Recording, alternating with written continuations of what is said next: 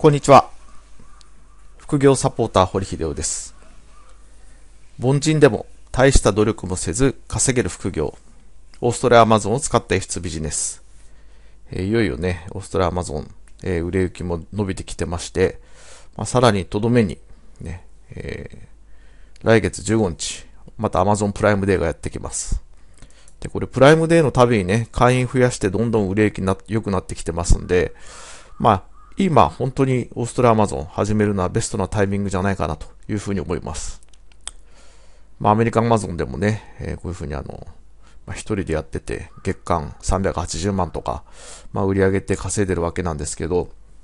まあ、今後オーストラリアアマゾンね、えーこのアメリカアマゾンよりも、まあ、稼ぎやすくなるだろうと。何しろ売上規模がね、えー3年後には日本アマゾンの7倍、えーの規模まで伸びるだろうというふうにね、オーストラリアの経済研究所でも予測されています。まあやっぱり日本でなかなか稼ぐというのは難しいんですけど、まあ日本製品をオーストラリアに売るんであれば非常に稼ぎやすいというのがありますんでね。まあ今、手軽にオーストラリアアマゾンが始められる、えーマニュアルにチャットワークサポートをつけた、ね、オーストラリアアマゾン輸出、えーチャットワークサポートプランというのをね、えー募集してますんで、まあ、このページ売れてる商品とかね、えーどういうサポートをするか、まあ、それらを確認していただいて、